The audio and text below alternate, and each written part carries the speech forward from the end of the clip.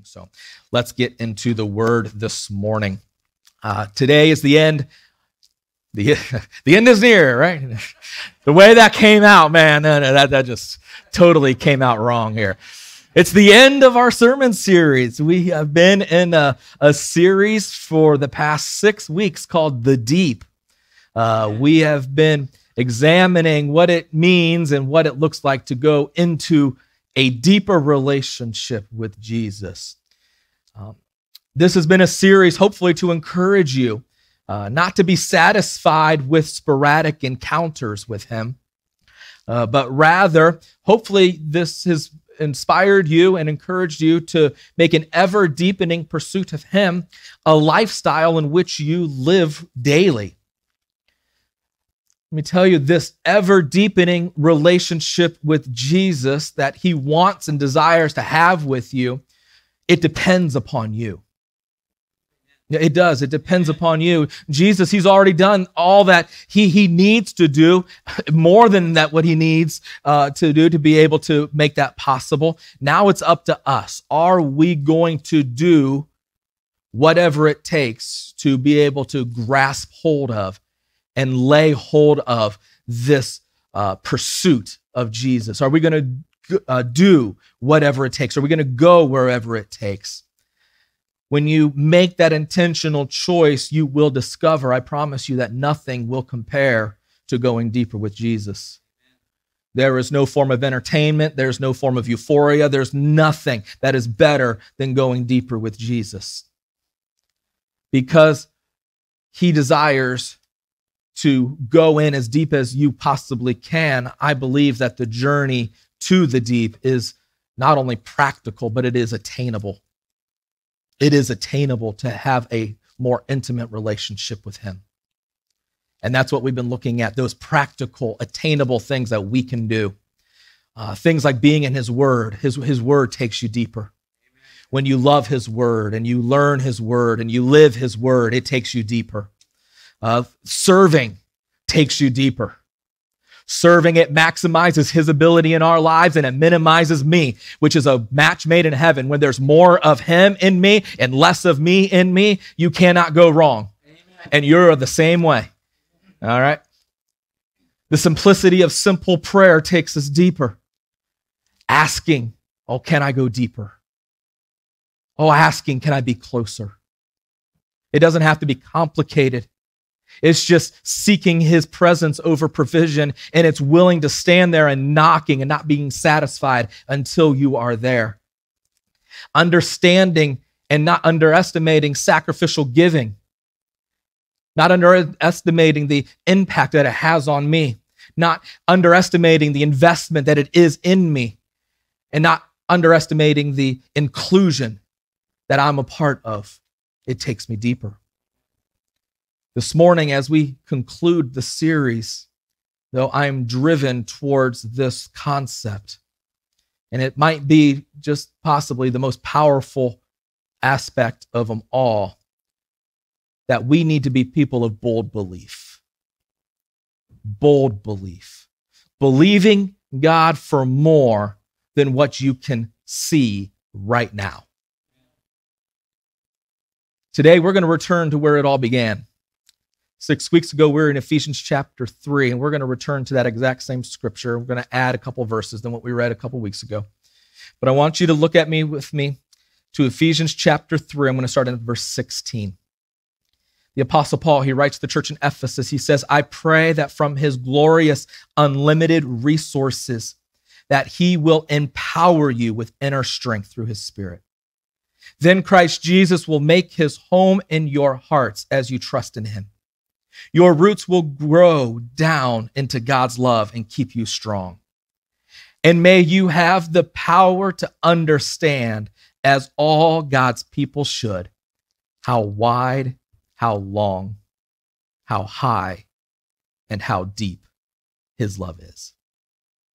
May you experience the love of Christ, though it is too great to understand fully. And then you will be made complete with all the fullness of life and power that comes from God.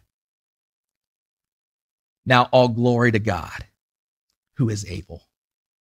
Look at your neighbor. Neighbor, tell him he is able. Say it like you believe it. He is able.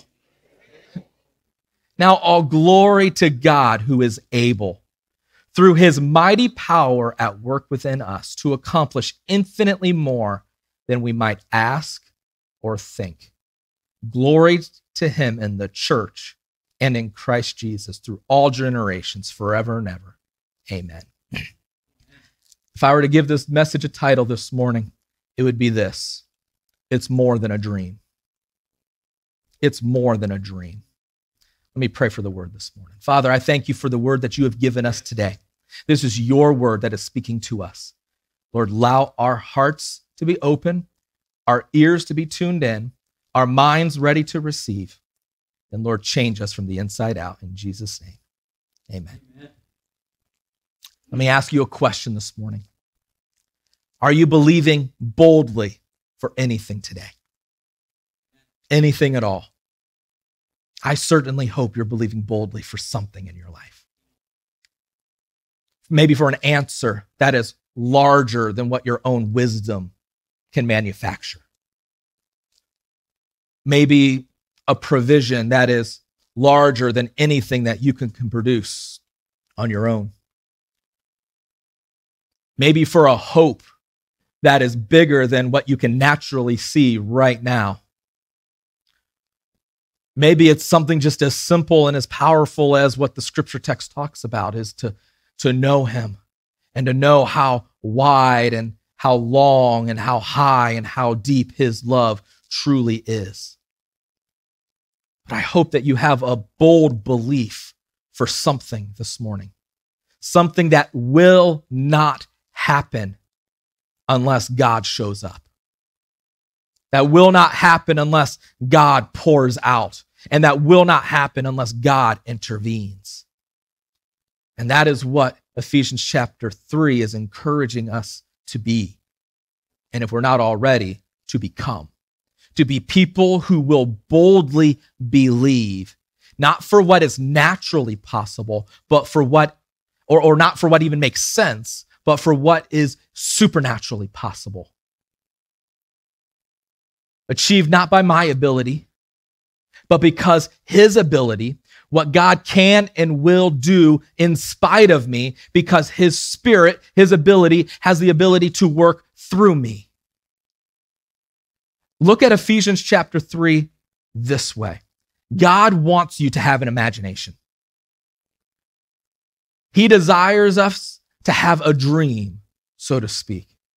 To have a dream that it is so big that except by Him, that unless He is in it, then it's nothing but a fantasy. But because when He is in it, there is no cap. Because when He is in it, there is no limit. He can and He will accomplish infinitely more. Some of you know this verse very well. Maybe you have it memorized in another translation where he says, exceedingly abundantly more than what you can ask for, than what you can think of, and definitely what you can imagine. When God is in it, it's more than a dream. Through Him, it's a reality. It does not matter how crazy, how off the wall, how unrealistic that dream that you have is. In fact, your family might think you're absolutely crazy. That you've gone loco en la cabeza, kind of crazy, you know? They might think that you are nuts. But let me tell you this morning when your heart is in it, and when your heart aligns with His, there is no limit. When your desires align with His desire, it's completely possible. When your ideas align up with His purposes, it will not matter how big, it will not matter how impossible, it will not matter how expensive, it will not matter how, how uh, improbable that that dream is. Faith filled, bold belief will yield, say, will yield, will yield a bold response. I mean, he may respond in a way that you least expect at a time that you're, you're not even ready for it. When does anything he ever do for us convenient? But his response, it will be bold. His response, it will be real. Will you believe boldly for it? We need to be people of bold belief to be kept spiritually alive. When the church stops believing, the church stops being. Let me say that again. When the church stops believing, the church stops being. So this morning, I want to talk about four things to believe boldly for. Four things that will keep us grounded in Him. Four things that will keep us in sync with Him. Four things that will keep us spiritually alive and four things that will change us. Because when we boldly believe these four things, they will change the world. The first one this morning believe boldly for a genuine move of God. At Crossroads, we believe boldly in a passionate pursuit of Jesus. We believe so boldly in front of it about it. We, we put his name right in front of your face every single week. So that as moment you look up here and you're singing that song, it doesn't become about Pastor Christy. It doesn't become about Brother Chris. It doesn't become about Jesse on the drums. Hopefully your eyes go straight to Jesus because that's what it's about. It's about a passionate pursuit of Jesus. When you pursue, Jesus with all your heart, with all your soul, with all your mind, with all your strength, he shows up. I would think probably a good portion of us in this room, if not all of us in this room, by this point have probably heard about the events that are happening at Asbury University in Kentucky.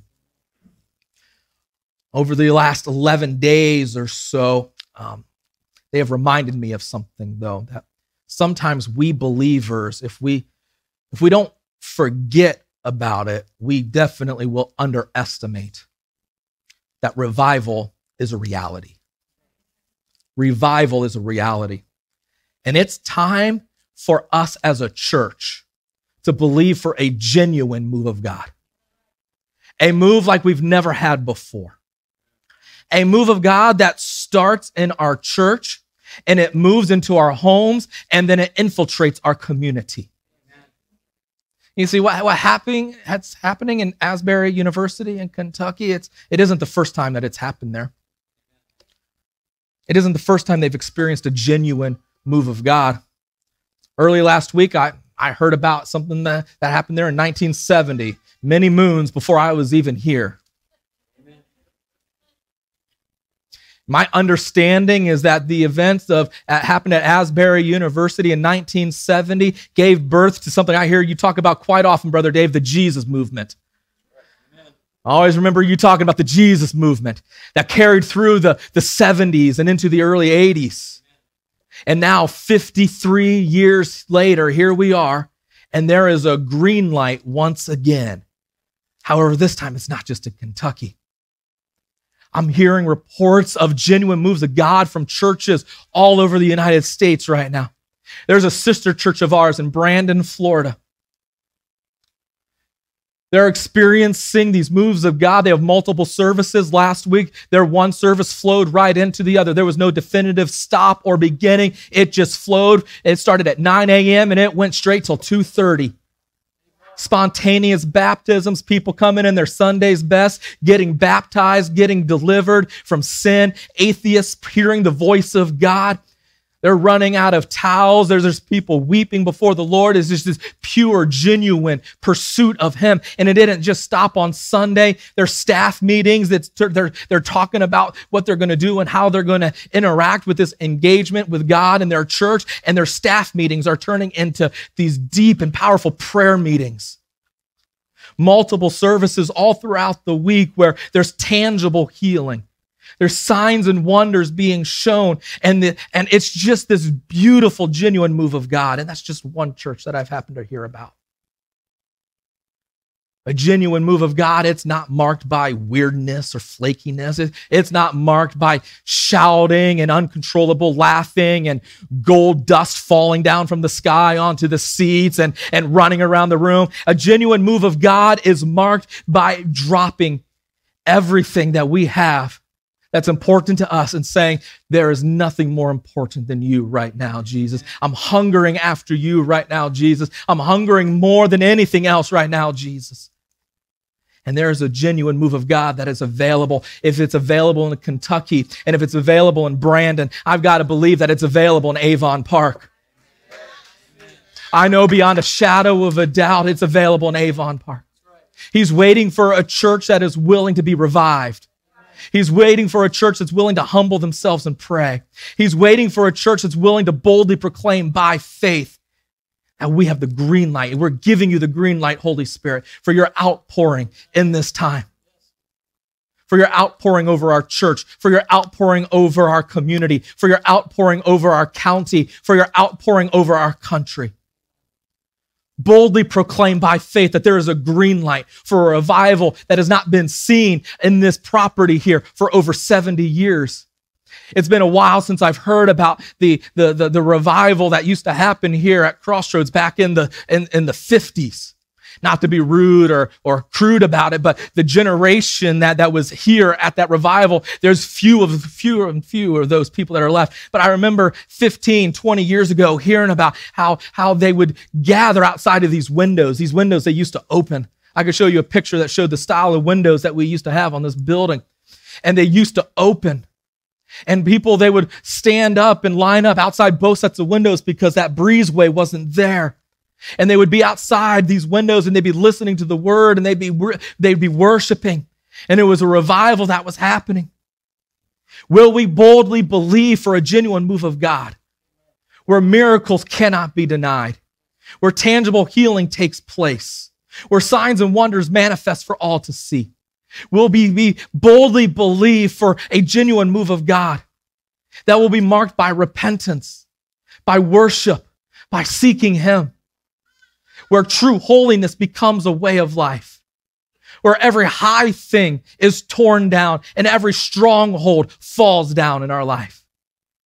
Will we boldly believe that this sanctuary will be filled with people not because they're, they're here for anything else, but they're just because they're hungry for God. And they're hungry for a move that cannot be contained for a 90 minute period of time between 10 a.m. and 1130. It cannot be contained in that 90 minutes. It cannot be contained in two services, three services. It cannot be contained. It's a genuine move of God and it's up to us. And we must make up our time today that we want a move of God more than anything else. When we make up our mind, though, get ready. There's a thing that happens. It's called spiritual warfare. It's called spiritual warfare. Critical people, they will show up in your life, I promise. Insecure people, they're going to show up. Insincere people, they're going to show up. And the enemy, he's going to show up faster than you can say opposition. Boldly believe that as opposition rises, that every critical spirit, every insecure person, every opposing voice, it would be muted that the only voice that will be heard would be the voice of the Lord. That ulterior agendas would be pushed aside, and the only agenda that would be promoted is the agenda of Jesus. Boldly believe for a genuine move that cannot be misunderstood. It can't be misunderstood for being about me. It cannot be misunderstood about being any leader in this church. It cannot be misunderstood about being about the worship team. It can only be implied that this is about Jesus. And that's where a genuine move is. It's where Jesus will be praised. It's where Jesus will be glorified and he'll be lifted high. Believe for that. Secondly, this morning, believe boldly for genuine change in people. Genuine change. Another thing that we boldly believe here at our churches is that people, they are our purpose. We, we love people. We, we accept people where they're at and they matter to us. They matter to us because they matter to God. And sometimes in the just the craziness of our lives and in the, the complexity of life, it, it can be easy to forget this is that people are our reality. People are a reality. when there's so much to believe God boldly for, it's completely possible that people can never even come to our mind. But I know for a fact that there is nothing else that will align your heart with His quite like making people your passion as well. You know, the, the world of 2023. I don't think we'd get much argument in this room today in saying that people are looking for a genuine encounter, but they're looking for it in some weird, messed up, and upside down places. But they're looking for something that is real. They're looking for something that will meet them where they are at.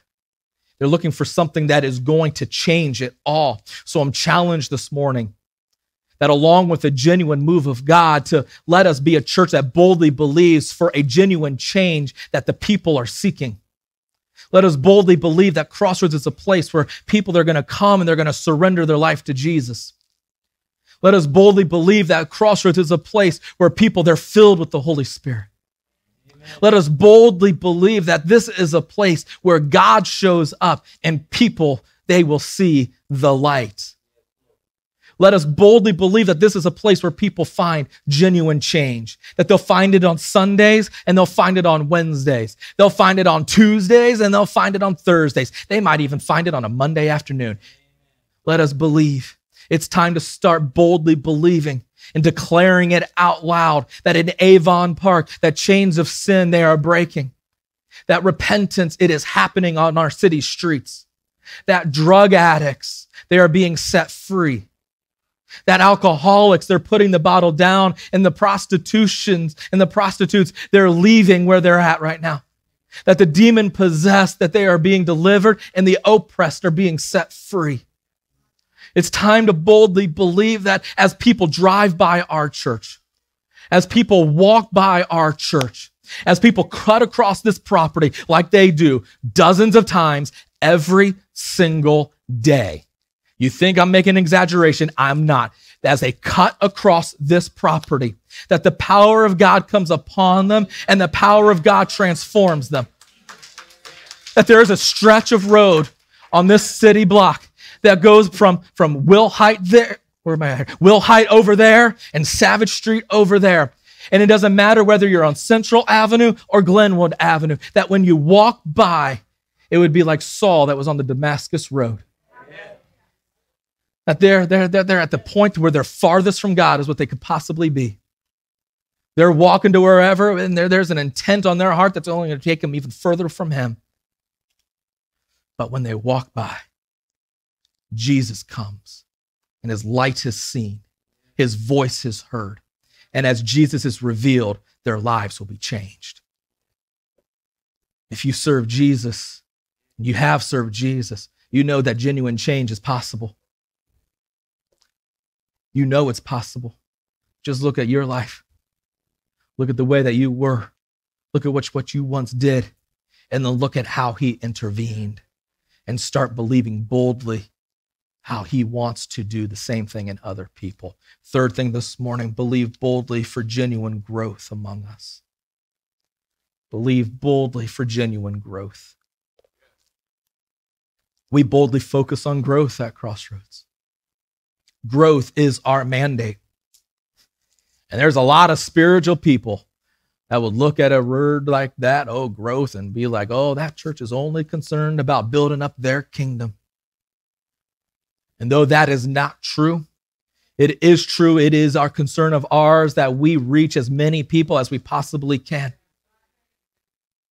Because that's the point of all this to gather together and to grow together and to become as strong and as many serving and pursuing Jesus as we possibly can. You know, as Jesus was about to ascend to heaven, he commanded his faithful followers to grow, to go into the world and make disciples. Discipleship is a reproductive act. It is a reproductive act. After Jesus ascended to heaven, there's 120 or faithful that are, are gathered together. And they're never meant to remain at 120. And at the first revival, ever. There's an outpouring in Jerusalem 50 days after Jesus uh, uh, it, it has been crucified. And 120 becomes 3,000. And then maybe it's a, a few days later, maybe it's a few weeks later. The Bible's not specific, but then there's a tangible healing. There's a crippled man that's over 40 years old. He's been at the temple gates begging for money, begging for handouts, begging for whatever he can get his hands on for a long, long, long time. And when there's nothing that they are able to give him personally, Peter says, I will give you something. And he heals the man through the power of Jesus.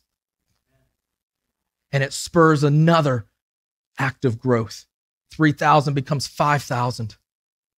When severe persecution begins to attack the church in Jerusalem and the church is scattered abroad, it spurs yet another expansion of growth as, as the, the following of Jesus leaves Jerusalem and expands to the surrounding cities and eventually countries. I've been reading Acts lately, and there's a, a lot of bold belief in the book of Acts and growth was always right behind it. Sometimes it was thousands of people, sometimes it was a household. Increase is a reality for those with bold belief. It's a reality not just for the spread of the gospel yesterday, but a reality for today. We are supposed to grow. We aren't meant to be the same yesterday or today as we were yesterday, and we're not meant to be the same tomorrow as we are today. It's time to boldly believe in the growth of our church. And I'm not just talking about numerical growth. That might be the most obvious aspect of growth, but there it's definitely the least important. What we're talking about is a growth in maturity. As we follow Jesus, we're supposed to mature as we progress. Apostle Paul, he, he proved that we're supposed to mature when he wrote a letter to the Corinthian church in 1 Corinthians chapter 3 verse 2 he says I gave you milk not solid food for you were not yet ready for it. Indeed you're still not ready for it. Can you read the disappointment in his words he'd hoped that they had matured to a point to where they'd be ready for a stronger teaching. But here they are. They're still struggling with the same childish behaviors, mindsets, and actions that they always have. The essence of discipleship is walking with another as they mature in their faith. That's really all it is.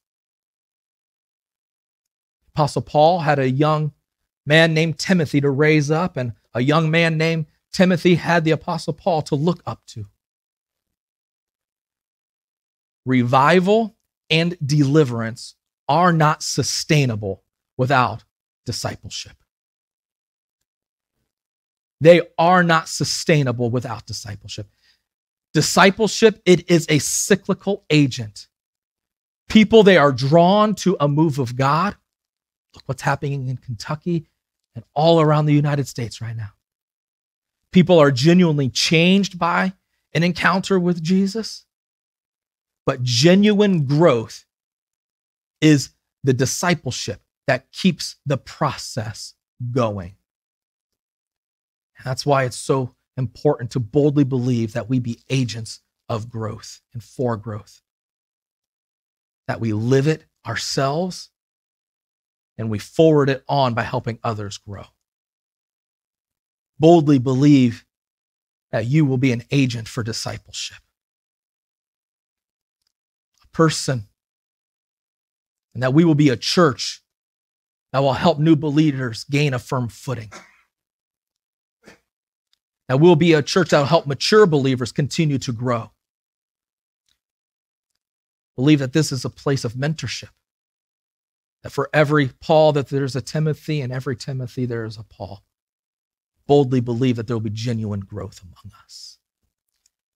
Finally, believe boldly for genuine hope in the world. At Crossroads, we boldly believe in hope. Hope isn't a dream, hope is a reality. And when we believe boldly for hope, hope is that reality. Hope it is our anchor. It's an anchor that keeps us connected to Jesus. If there has ever been a day that we need to be connected to Jesus, it's the day and age in which we now live. It's hard not to see and hard not to say that we live in dark days. A day and age of uncertainty, where there's political and financial turmoil and uncertainty. A day and age that promotes confusion, where the truth it is skewed. A day that is filled with anxiety and depression or those that appear to be happiest. I just saw just a news headline that I, I mean, I never even would have considered them a celebrity. They were married to a singer, but they they committed suicide. A famous singer, I guess. He was a country singer. Committed suicide. The appearance of happiness, have it all, but yet there's there's this deep depression. Days that seem to have only one attribute, and it's hopelessness. These may be the kinds of days that have only been seen once before in the days of Noah, but that does not mean that these cannot be days that are filled with genuine hope. Because the enemy, he, he wants to remove you from hope. That's what the enemy wants to do. If he can keep you from hope, then he can get you to anywhere he wants you to be. But it's hope that keeps us motivated and moving forward. It's hope that keeps us grounded in Jesus. It's hope that, that keeps us secure in our faith. When we have those days, how many of you have maybe had one of those days this week? One of those days of danger, trial, toil, and snare. One of those days of difficulty. One of those days that you'd rather not have again. That's when we need hope a hope that is built on nothing less than Jesus Christ and his righteousness. And that is a hope to believe boldly for. That's what Romans chapter 5, verse 5 describes as a hope that does not disappoint. Because the love of God has been poured out. It's been poured out in our hearts by the Holy Spirit who was given to us. This is what the world needs now more than ever. Hope that is a constant, hope that is secure, hope that comes through, and hope that is genuine because it is God that has supplied it and nothing else. This is what believing boldly for a move of God is going to do. This is what believing boldly for a change in people is going to do. This is what believing boldly for genuine growth among us is going to do. Believing boldly is going to produce genuine hope in the world. It's going to produce genuine hope in the world. I don't believe it's a coincidence that over the past week or so, I've seen less complaining by Christians on social media. Not no complaining. We're not going to get carried away here. There's always something that we find to complain about. But as there's been reports of revival sweeping the land, I don't find it a coincidence that hope is coming along with it. Start believing today for hope in our community. Start believing today for hope in the homes that are in your neighborhood. Start believing today for hope in the lives of those that you interact with.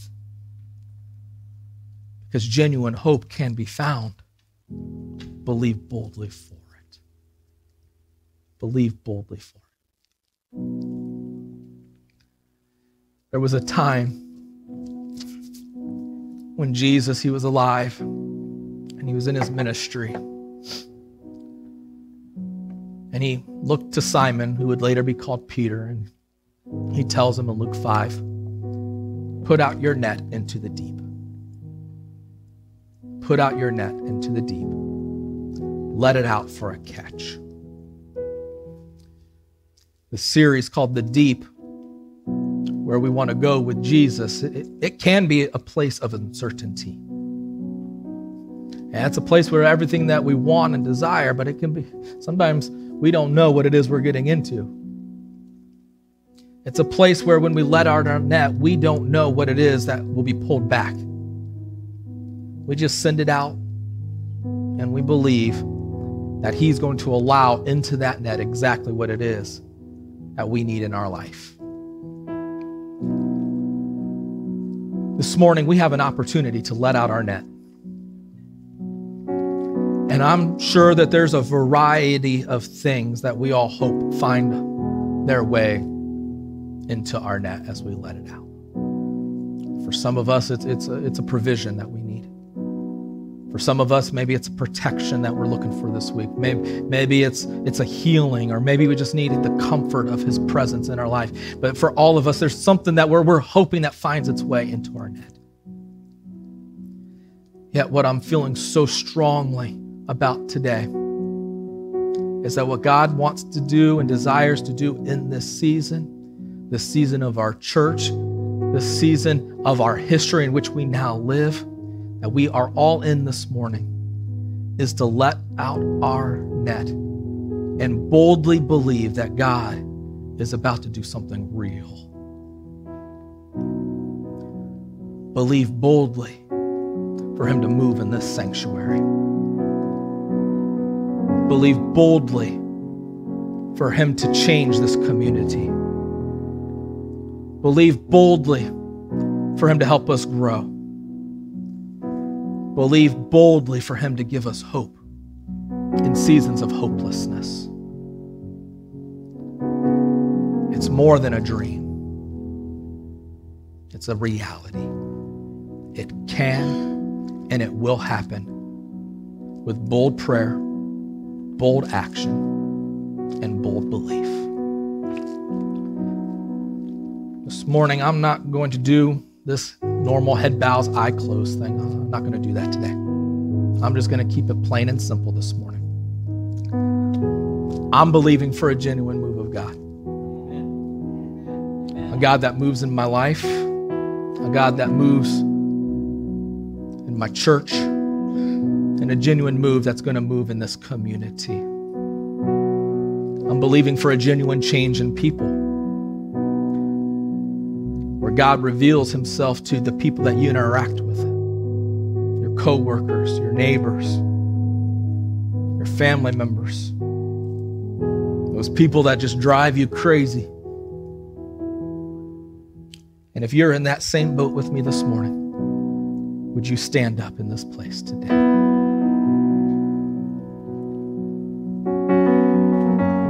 It's not about forcing it, but it is about pressing in in bold belief. This morning, if you've got to go, I, I understand. But I'm going to pray, and then we're just going to press in. We're just going to press in. Let me pray this morning. Jesus, thank you for your word today. Thank you for your word. Lord, let us be cut to heart today. Let us be inspired today. Let us be driven today. Let us be unsatisfied with anything less today than to be people of bold belief. Lord, let this be the day, I pray, that everything changes. In the name of Jesus.